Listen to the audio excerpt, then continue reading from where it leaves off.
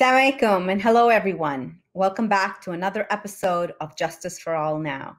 I'm your host, Hena Zuberi, and you're watching us on Muslim Network TV, America's only Muslim focused TV channel. You can watch us 24 7 on Galaxy 19 satellite, Roku TV, Amazon Fire TV, and various social media websites after a mob of Trump supporters, most of um, some of them who were armed, um, besieged and then ransacked the Capitol a few weeks ago, many contrasted the response of the law enforcement um, to that of mostly uh, white uh, rioters with the brutal crackdown, police crackdown on um, Black Lives Matter protests. And others observed that if any time this would have been a Muslim um, or Muslims have e- even contemplated uh, such an act, they would have been branded as terrorists, and it would have been and and, many of the uh, people who were commenting um, as such on social media websites. Um, you can't blame them. You know, it was a very sharp contrast, uh, and there were several memes floating around on, um, you know, our WhatsApp groups. But let's um, let's you know let's take a deeper look at this. Um, do black uh, people and black Muslims, mus- generally Muslims in the United States, we all know that we're over policed. We've heard it from our communities. Um, people, when they come on the show, several people have spoken about their personal experiences. Um, and most of this policing is done under the guise of public safety. So today I wanted to talk to somebody who's really an expert on this topic, as he's uh, fought many cases um, across the country, uh, working for Council of Islamic American Relation, uh, American Islamic Relations, CAIR, uh, the Muslim community's largest civil rights uh, organization. Uh, Gadeir Abbas is the attorney uh, for CAIR. He's spearheaded major lawsuits across the country involving constitutional issues um, and of particular concern to the American Muslim community, including the successful challenge to Oklahoma State's Question 755, a voter approved referendum that would bar references to Islamic religious traditions in uh, Oklahoma courts. Um, he's also uh, litigated on behalf of American Muslims surveilled by GPS tracking without warrant, um, based on the federal government's terrorist watch list, and prevented, uh, you know, our community when our communities are have been prevented from building schools or mosques by discriminatory zoning laws. And we've discussed many of those topics here on the show. So I am um, so honored to welcome Gadeir on this uh, on the show and have a robust uh, conversation about the aftermath of um, what happened on Capitol Hill, domestic terrorism, and how what are the implications for Black and Brown communities. Thank you so much, Gadeir. Assalamu alaikum. Thanks for having me. So, um, I, you know, let's what did you see? What were you? What were your thoughts watching uh, what unfolded on January sixth at the Capitol? Well, you know, I couldn't help but feel baffled that the billions and billions of dollars that we spend on police, on law enforcement, on the military couldn't stop a few thousand people um, upset at um, Joe Biden's election to the presidency from storming the Capitol building during uh, the um, Senate's uh, ratification of the Electoral College results. And, you know, it was, like you said, the, the contrast um, uh, from, you know, the Black Lives Matter protests and uprisings that happened in the summer all across the country where you'd regularly see the police outnumber the protesters. Um, uh, and here, you know, the nation's Capitol building at a particularly uh, vulnerable um, point, doing something absolutely critical to the transfer of power. Um, just you know, calling it in uh, and uh, letting uh, you know, a bunch of hooligans um, uh, ransacked the Capitol building uh, in front of everybody's eyes, and so, uh, you know, that was that was that was that was what I took away from the day's events. Definitely. Yes, it was a shock. I mean, um, all, both of us have been at the Capitol. There's security. There's just seeing the difference in how I, I, it was flabbergasting. Uh, I was flabbergasted because I cannot imagine for a minute uh, that this, if that had this had been a crowd of dreamers, or if it had been a crowd of uh, any other constituency uh, that they would have been treated in the same manner, especially something so well planned where they had T-shirts and nooses hanging outside. It was just something out of a the Twilight Zone, but it wasn't. It was real, and it was. These were also citizens of our country who felt this way and felt the privilege of entering our Capitol uh, building and being able to brandish, um, you know, I, I, remember so many protests where you, you were not allowed to even bring in um, a, a, stick to hold up your poster. Your posters had to be in your hands. So all those rules seem to have like been thrown out of the window. Um, but I um, wanted to talk about the implications of this uh, insurrection and um, how it shines a light uh, not only on the way the police treat different groups of people, uh, but also on the way they label threats. How is this affecting the way people view the right to assemble? Well, I think that the you know it was a very traumatic uh, episode for a lot of people, a symbol of our country, of our history, of our collective um, uh, um, uh, experience. You know, attacked and I think that everybody felt the the trauma of that. But in the wake of that trauma, I think that the reaction has been that you know we really can take a technological approach to dissuading these folks from assembling, from um, uh, organizing, and that's why you, you know in the aftermath of lawlessness at the Capitol building, you have you know Silicon Valley companies um, uniting to you know close Parler down. You know, uh, an entire social media platform just you know burned to the ground. You know, in a, you know in a couple days in reaction, and it turned out that most of the organizing that took place um, in advance of January 6th was done in plain view and on Facebook, not on Parler or elsewhere. It was done on Facebook. And so I think that uh, you see a lot of folks um, uh, taking advantage of the trauma to legitimize their own bad behavior. You know, in the in the wake of January 6th, you know, calls to you know Senator Chuck Schumer, now Majority Leader Schumer, is you know calling on people to uh, all these people to be placed on a watch list. Well, you know what? If they were on a watch list, it wouldn't have stopped them from ransacking the Capitol building in the first place. And that's Chuck Schumer's response to every bad thing that happens ever is, uh, you know, Osama bin Laden is raided um, and, and, he's killed. Uh, and they they mention uh, railroads and trains in some documents that get collected. You know, Chuck Schumer wants a no ride list. You know, forget about the no fly list. Let's create a list of people that aren't allowed to board trains.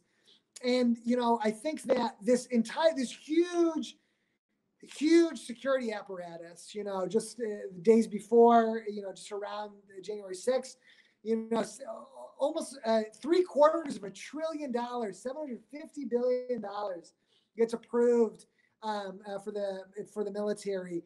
You know, tens of billions of dollars, you know, spent on the FBI and other, you know, domestic law enforcement entities and out of all of that, we can't even stop uh, a bunch of idiots, you know, from uh, breaking into the Capitol building and shutting down an essential function of government. It was the final step, the final ceremonial step to, um, uh, uh you know, label uh, Joe Biden as the winner of the election.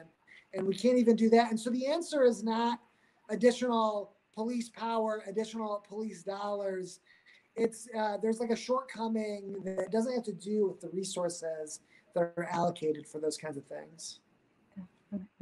Um, and you've you've uh, spoken before about terrorist watch lists and brought the suit uh, arguing their lack of constitutionality off the list itself. Um, you know, and we we saw uh, that very very viral viral video of that young uh, white man who was not allowed to board the plane and um, and how this was ruining his life. And you've seen many many uh, Muslim lives, Arab lives uh, being ruined by being placed on these terror watch lists. Um, are people starting to see it differently now that a different demographic of people, like, do you think the mainstream America is taking a look at this and saying, hey, uh, even though this was happening to this particular community now that it's happening to this uh, the you know the majority uh, representatives of the majority um, this is not this is uh, not acceptable and um, this should not be occurring. You know i, I have I've heard that um, thought expressed you know a lot that you know now that you know white trump supporters may find themselves on watch lists that's going to do more than anything else to delegitimize the watch list. But you know although george w. Bush is the president that created the watch list it was a minor um, uh, program uh, of uh, limited scope, uh, you know, during the Bush years. It really wasn't until after um, Obama became president and after the underwear bomber um, uh, tried to detonate a device uh, on Christmas Day mm-hmm. over Detroit, I think this was um, in 2009, that the watch list exploded.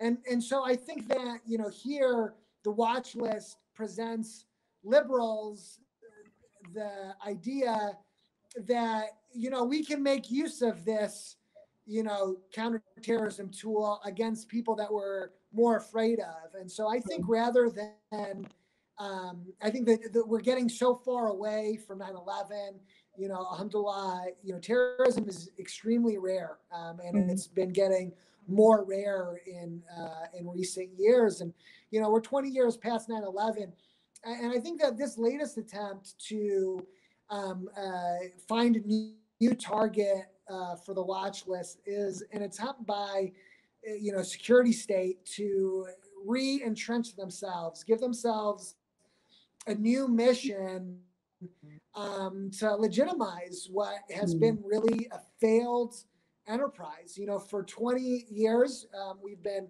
putting people on watch lists.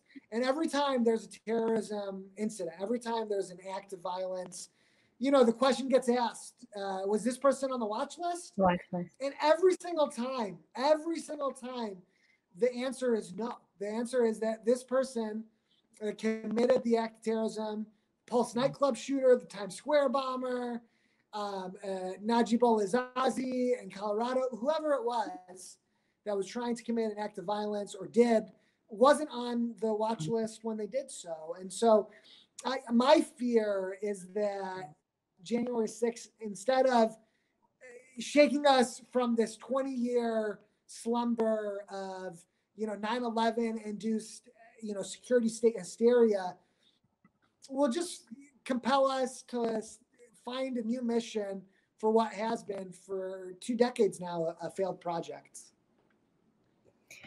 This is, uh, and when you say this, let's let's just to remind uh, our viewers, some of them who are in rural America who might not know what the Muslim community has gone through because of these watch lists. Could you tell us how many um, Muslims have been placed on these watch lists? How big are these watch lists, and what kind of havoc have they created in people's lives? Yeah. So in 2003, um, and after the 9 11 Commission, which was a congressional commission that looked into um, what happened on 9 11, any security failures that occurred, and proposed a set of recommendations. Um, one of the recommendations they proposed is additional information sharing between agencies. And so George W. Bush issued an executive order, HSPD 6 to create a single federal government wide watch list of what came to be known as and labeled as you know people that are known or suspected terrorists. Mm. And so, uh, you know, for a few years, it was really ad hoc and informal, informal, so informal, in fact, that in the mid 2000s, I think 2006, 2007, 60 Minutes got an entire copy of the whole watch list, and it had a couple mm. hundred thousand names on it. And some of the names were Nelson Mandela, you know, Ted Kennedy, you know, Evo Morales, you know, world leaders, activists in other countries. You know, Nelson Mandela was on the watch list because you know, he was associated with the ANC, um, mm. which was, you know, which the government apparently considered, you know, a terrorist organization. And, uh, you know, and then there was some embarrassment from the federal government um, uh, uh in the wake of that. Um, 60 Minutes um, uh, airing, you know, some parts of the entire watch list. And so you saw it shrink in size. But Obama became president, and then the response to the underwear bomber was we need to explode the size of the watch list. And so mm. now, you know, 20 years later, there's about 1.2 million individuals on the watch list. The watch mm. list is shared with more than 60 foreign countries, including, you know, human rights abusers like Israel, Saudi Arabia, UAE, Qatar, um, uh, China. You know, all, all these countries are getting the watches. Imagine being a Uyghur Muslim American and finding yourself, you know, on the watch mm-hmm. list and, and, and knowing that China is getting a copy. More than mm-hmm. 500 private entities, you know, you're talking for profit, public, you know, corporations have access to the watch list. More and the children on this. I'm sorry? And the children on this watch list as well. There are children on the watch list. You know, there's people who, um, when they go through screening at the airport, um, they'll get pulled aside and their children's diapers will be patted down, you know, individually, the one they're, they're wearing. And so it, it is, it's this like technological approach to um, a uh, security issue of um, uh, that doesn't pose a, a, great risk um, to Americans. Uh, thankfully, terrorism is very rare. And what we have to show for you know 20 years of watch listing is not a single terrorism incident has been stopped. And you know, I think it obfuscates what really is, you know, the most important security uh, uh, reform after 9/11 is also the simplest. It's locks on cabin doors, on cockpit doors. You know that locks on cockpit doors probably would have stopped 9 11 from happening. After 9 11, they put those locks in, but they, you know, there's a bit of theater that goes along with governing. And I think that unfortunately, some people feel better when a minority loses rights. And that's been the Muslim community mm. now, but it looks like it might change in the future. Um, so Ramzi Kassem, uh, also with the SUNY um, uh, or um, CUNY, uh, writes that vesting more money and power in law enforcement could only ex- exasperate the problem of prejudice in policing. It would be the opposite of what millions of Americans called for this year when they took to the streets nationwide demanding that police be defunded. And it would expand an already sprawling national security apparatus that must instead be diminished. What are your thoughts? I mean, it's exactly right. You know, the underwear bomber is a great example. The underwear bomber's father begged the federal government to put the child, his child, on the no-fly list. Warned the federal government about his concerns about um, that you know his child might do something uh, violent against the government. But because the FBI has taken this bulk indiscriminate approach to policing. We're going to surveil the Muslim community. We're going to install a network of 15,000 informants across the country, create a watch list of more than a million people. It's really impossible for the FBI to um, uh, act in response to good information that it receives. And, uh, you know, that's what we see time and time again. You know, Pulse nightclub um, shooter um, there were, uh, you know, that the, that guy was, um, uh, you know, in the FBI's attention prior to um, uh, his massacre. The Chelsea bomber in New Jersey, the father reported the son to the FBI uh, years before the bombing. And so I think that if, if, if law enforcement has reason to believe that someone's committing a crime, they should investigate it. Mm-hmm. And if they find evidence of criminal wrongdoing, they should prosecute it, mm-hmm. which is what they do. But this idea that we're going to hoover up and be omnipotent and uh, and just surveil everybody all the time um, has been a fool's errand, and more money, uh, more manpower is not going to fix it. So, um, Republican uh, Ruben, uh, Representative Ruben Gallego, in an interview.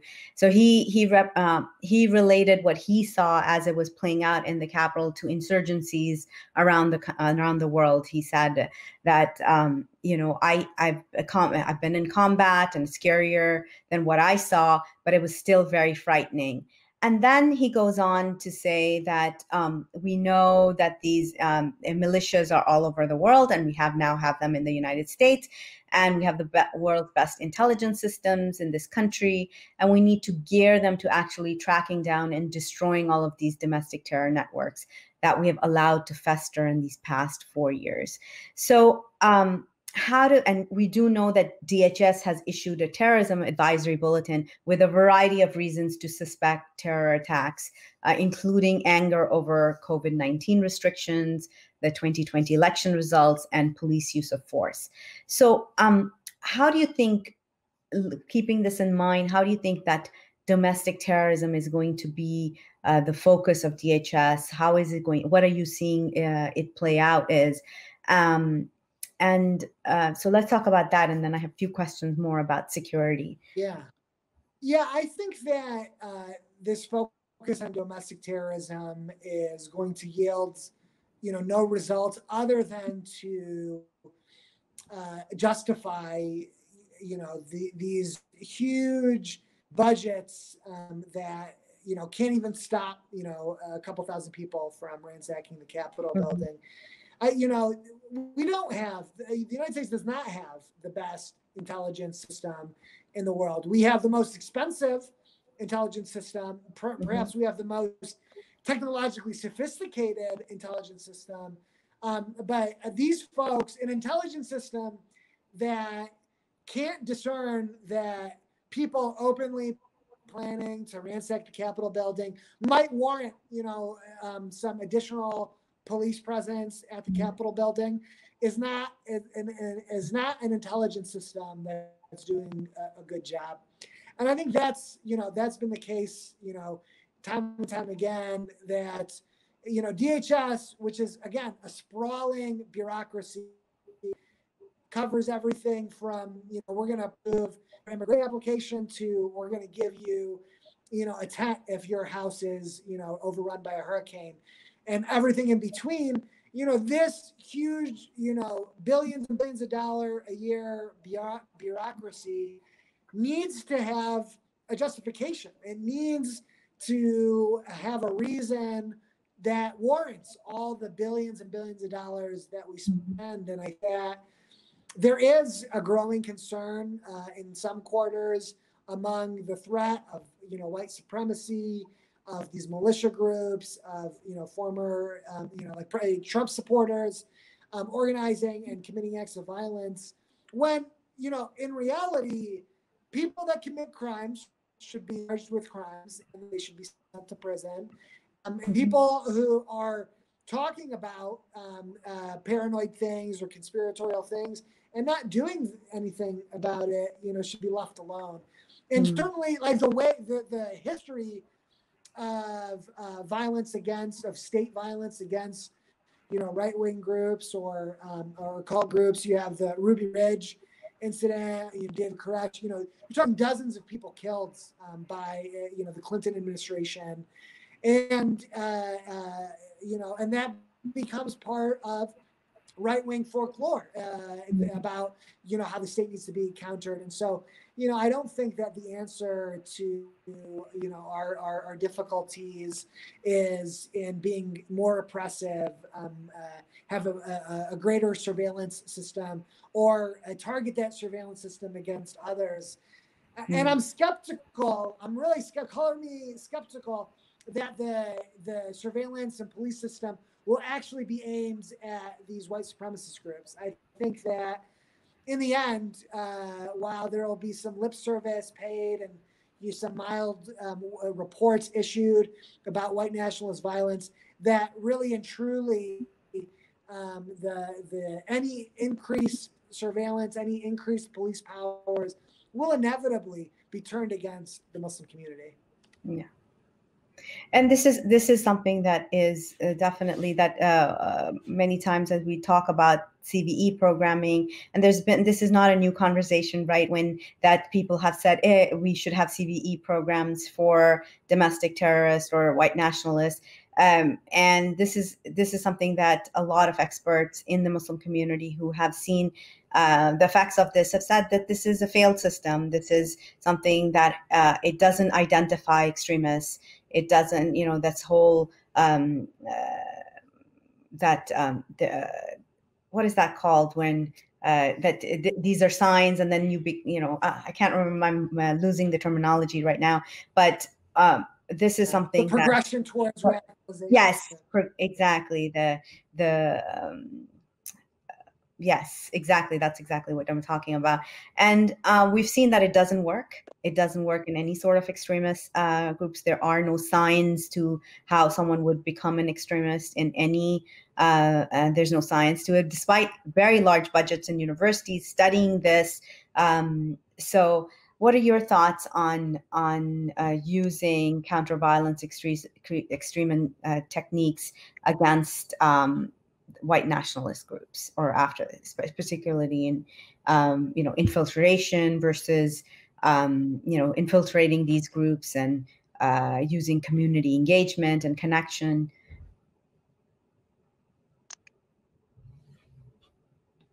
Yeah, you know if you know if if the FBI takes you know the approach they've used in the Muslim community often where they isolate some mentally ill or like marginalized um, person, you know, that doesn't have a lot, that's vulnerable a lot of different ways, socially, mentally, emotionally, surrounds that person. FBI agents pumps that person full of delusions of grandeur, and then has that person, you know, um, uh, do something illegal uh, with an FBI agent, you know, pretending to be a white nationalist. I'm sure they'll be successful. I'm sure are many entrapment plots that the FBI could um, foment inside white nationalist groups, you know, with um, with great effect mm-hmm. um, in, in, terms of the theatrics.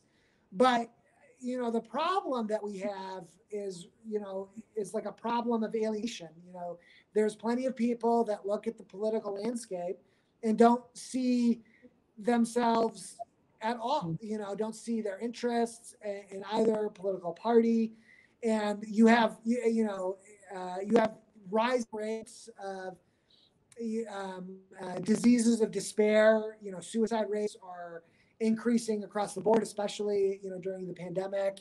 Um, and so, you know, I think that these, you know, these white supremacist groups, these white nationalists, yeah, you know, they're racist. Yeah, they have um, uh, a terrible message, but I think they're they're blooming in a climate uh, that, that is desolate. Uh, there's not much. There's not a lot of hope for a lot of people that things are going to get better. Um, and so I think that the nihilism of Trump, uh, where we're just going to burn it all down, we're going to be disrespectful to everybody, mm-hmm. um, uh, you know, all the time, and rude to entrenched you know, um, uh, powers that be. Um, that, that, that I think that, you know, here the answer is difficult. It, it's, it's probably to have a more credible, responsive political system that takes care of people, that meets people where they are, rather than the technocratic approach. We're going to excise the problem by surveilling and criminalizing association and and uh, deplatforming certain kinds of speech. You know, those efforts are, I think, the the the only place that those efforts are going to lead is to um, uh, minority groups, you know, Black Mhm. Lives Matter activists, Muslim community, uh, you know, dreamers being booted off of Twitter and Facebook Mhm. and you know Instagram and everything else.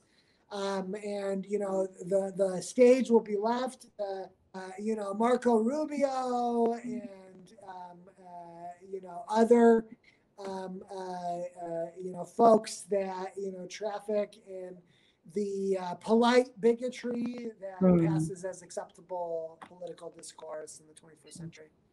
Sure. Thank you so much. Our time is up, but we're so grateful for you to be here.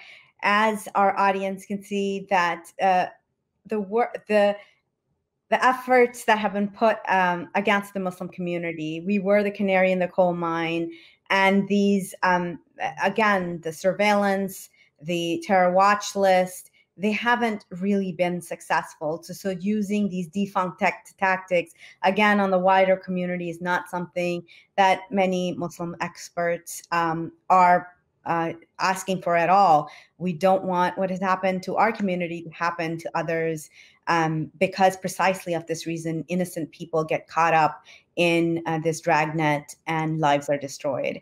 So, thank you so much for joining us today, and uh, we'll see you tomorrow. Thank you so much. Assalamu alaikum.